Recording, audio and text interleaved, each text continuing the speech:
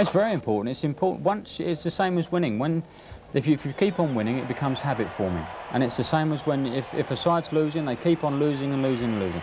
England can't lose this season. They must keep up their fantastic form. Well, the teams, as you can see, coming out onto the field now. Another disappointing attendance. Uh, there's been a lot of talk in the press about whether these games should be played at grounds in the provinces, and uh, I dare say one or two people might agree with that in view of the attendance this evening. And England playing in red as well, Ray, which I know you're not too keen on. Now, that annoys me. It's, uh, we're playing at home. The, the, opponent should change. We've travelled all over the world, and we always have to change when we go to opponents' uh, opponent stadiums. Uh, but it seems that um, we have this ruling where with uh, the English gentleman always changes at home. Obviously, an important match for Paul Parker this evening. I know uh, a lot of people have been saying that Gary Stevens is by and large assured of his place at right back, but uh, nevertheless, an outstanding performance from him tonight, and uh, he, he, might start making uh, Bobby Robson have second thoughts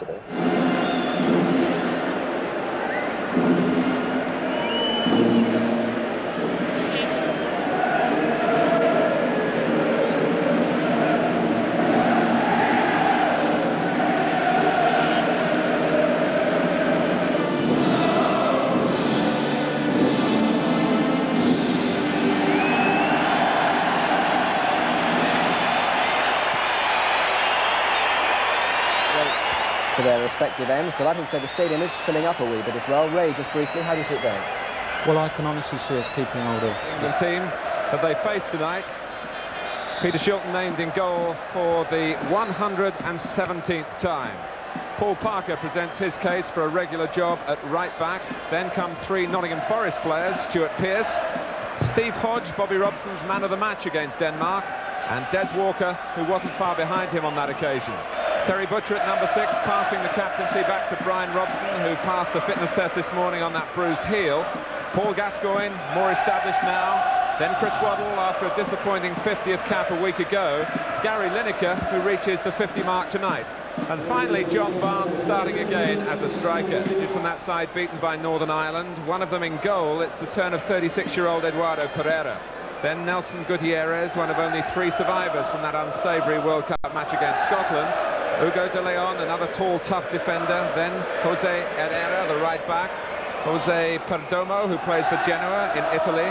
Alfonso Dominguez, the only one of the 11 who is based in Uruguay. Antonio Alzamendi, another of the 86 World Cup squads. Santiago Ostolaza, who operates in midfield. Enzo Francescoli, Chris Waddle's teammate in Marseille. Ruben Paz of Genoa, promoted from substitute in Belfast on Friday. And then Ruben Sosa, who also earns his living in here it. at Wembley. He'll be looking, and I'm looking to make sure that that uh, is a bit more solid tonight, and I'm sure it will be. At the team headquarters yesterday, Parker, perhaps with most to play for. Oh, It was uh, an inviting ball played by Paul Parker. And if there's one thing that people say Paul Parker has above Gary Stevens is his distribution. And here we see this, for a striker, this is a perfect ball. Mike Ruben Sosa. This is Ruben Paz. Herrera coming forward from right back. He's got Alzamendi outside him, and uh, Herrera prepared to have a crack.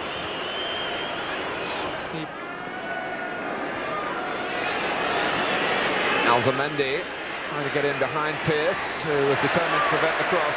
It's so easy to knee the ball beyond Steve Hodge. Oh, and that's a fine pass too.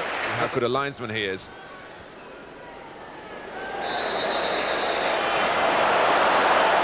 Well, Stuart Pearce on Alzamendi.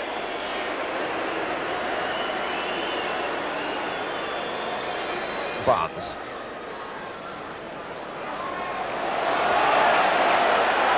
Got it through to Gascoigne, who was fouled by Gutierrez after the ball had gone, but the referee played a good advantage. And Hodge very nearly...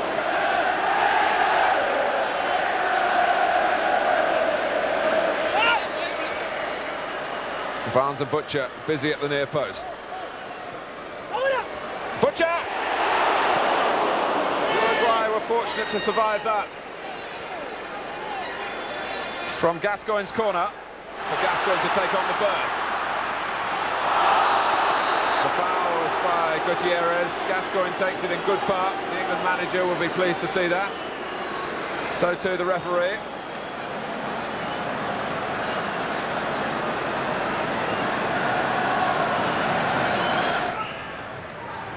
It's a blast from Pearce! Pereira met it with a save, really at full stretch.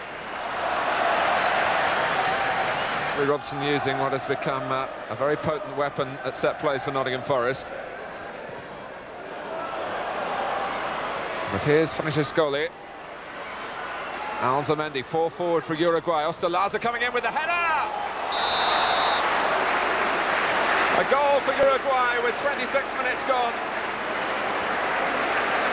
To delight their supporters. And the counter-attack. Yes, well, I did see from the very beginning it looked like...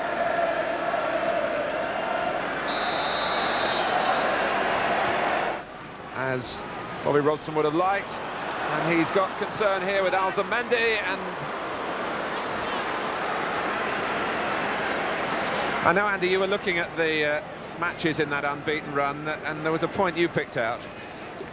Just finals were being played at Wembley, I'd be very, very confident. But I just had a little doubt about England's away performances. Well, there might be an equaliser for Barnes, who saw the opportunity to try and steer it wide of a goalkeeper who was starting to move off his line. Right. As Alzamendi did with the pass.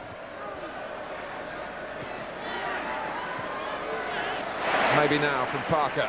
Well, it's Lineker. And Barnes coming in. Certainly the crowd felt so. The England protests have died away. Waddle. Oh, that's cleverly done by Waddle, and Pereira disappointed.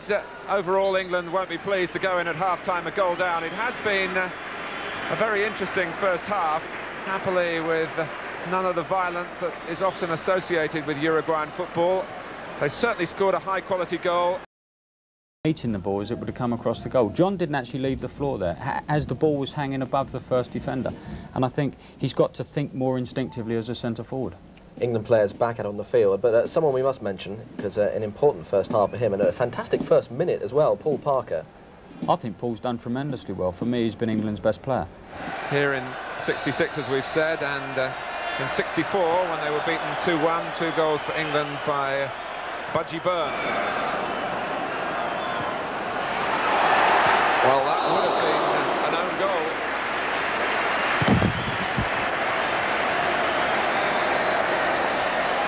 England haven't varied the corners very much. Barnes. Lineker tries to bend it, but Pereira saw it coming. Well, he's been uh, too slippery for South American defenders in the past. On from Barnes, Lineker. England getting good support from midfield from Robson. Oh, and he might go all the way here, Brian Robson.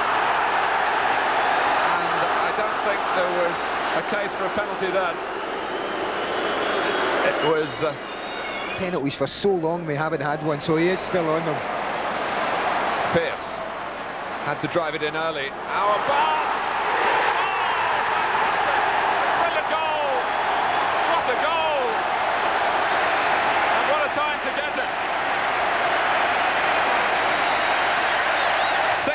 into the second half. This is pure genius. This, this is John Barnes at his very best. Stuart Pearce's Heusling. Barnes doesn't go for the challenge. Sees the defender missing it. It's good enough to keep his balance. Herrera.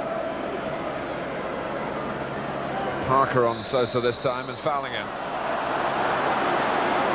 And I'm sure that Paul Parker's desire to do well is a little bit greater than Sosa's probably.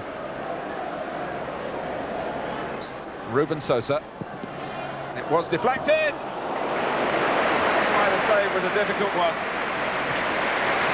Not. Barnes. Oh, Lineker! flagging, and it wouldn't have been a goal in any case.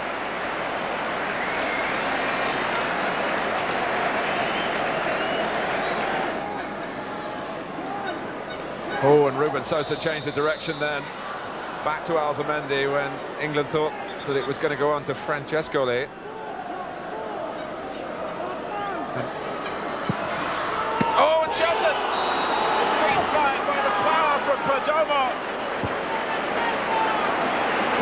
An astonishing free kick for Uruguay. Well, I must admit, I'm surprised at this. When he hit it, I thought Peter Shilton had it covered. Gets two hands to it, but he just doesn't get enough. I really am. Barnes.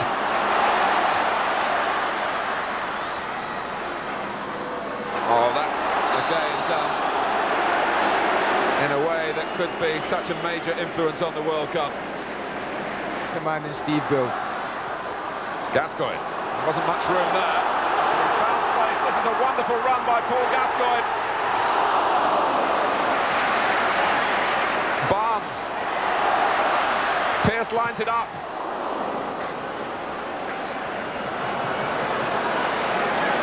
And Gascoigne took them all on then. But there were just enough players back for Euro last time England had a corner. Here's Chris Waddle. Oh!